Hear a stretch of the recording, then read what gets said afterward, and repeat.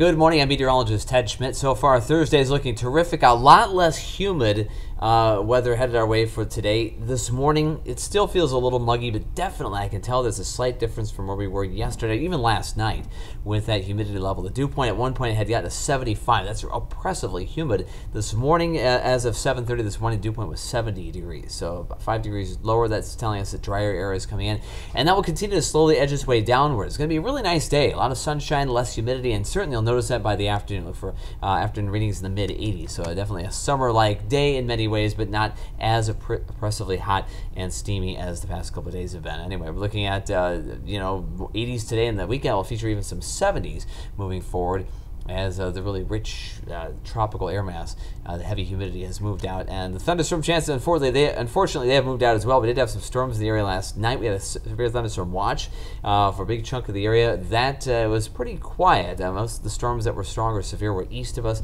and before that was a big round of severe weather in Wisconsin. A lot of tree damage and a lot of straight line winds with that all across the entire Badger State, from the northwest to the southeast. But um, we kind of missed out on that. We missed out on the rain. We missed out on the severe weather. We're grateful for that, but it could use at least a good soaking shower or two.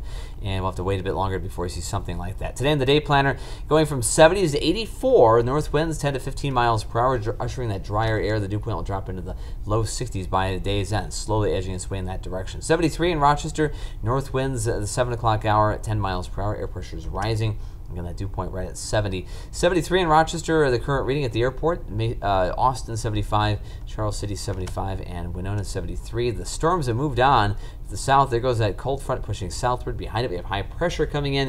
Uh, unfortunately, we also do have an air quality alert that's coming back. It's rearing its ugly head again. We had that last week. The winds out of the north now ushering in that uh, smoky air from northwest Ontario and Manitoba. That air quality alert uh, extends through today most of tomorrow ends at 3 o'clock Friday afternoon, and so the entire area is in it. We're looking at the possibility of uh, some smoke at times. It causes, causes, a little bit of extra haze, but also could be a problem for those with uh, compromised respiratory systems. The worst of it regionally, of course, north of us, but we're still getting the moderate level of that in place. Here's future track. Storms have moved out. We have tons of sunshine in store for us today. If you're going to Thursday's downtown, golden day for that. Uh, or the Olmsted County Fair. I'd say it's a, a terrific day to go to the fair. Uh, looking at tomorrow, not a perfect day. We're going to have extra clouds coming in. We could use some rain. We're going to get a little bit, but not enough to really make a big difference. Unfortunately, most people are clamoring for a little more rain. We, uh, we could like to get, we'd like to get more. Uh, we're going to get some brief showers tomorrow, uh, mainly early afternoon, maybe early evening, uh, but occasional sun in between. We'll have daytime highs tomorrow in the upper 70s to around 80, so a bit cooler there, and we'll be in that range for the weekend as well. 84 today in Rochester, Mason City 86, Winona 85, winds out of the north 10 to 15 miles per hour, so a little less humidity in the air, uh, and certainly more of a comfortable setup uh, uh, again for us overall compared to recent days. Tonight, partly cloudy, comfortable, light northeast breeze, 64.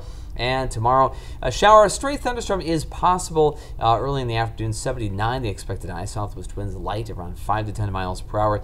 Uh, outlook for the weekend, we see an isolated storm or two again in the mid part of the day, Saturday into the early evening, and then occasional sunshine between those showers. 81 the high. Sunnier yet with less humidity in the area for Sunday and next week. Still upper 70s for Monday. Like a taste of September there for a little while. Kind of early to mid September, you get those almost summer like temperatures, but minus the really rich humidity or you know, scorching heat. All right, outlook for the next several days. A lot of sunshine. Could see a thunderstorm. I should put that on the next Thursday. There's a chance of that. Better chance next Friday. That's a week away.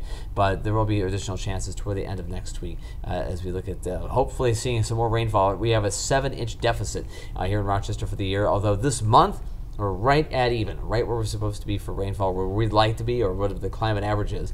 But before that, I mean, this month, leading up this month, we had such a deficit. We still have some ground to make up. And uh, right now, not much in the way of rainfall, just very sparse showers next couple of days. So I guess we're left to just leave, uh, being left with uh, decent sunshine and mild weather. I guess we'll make the most of what we have.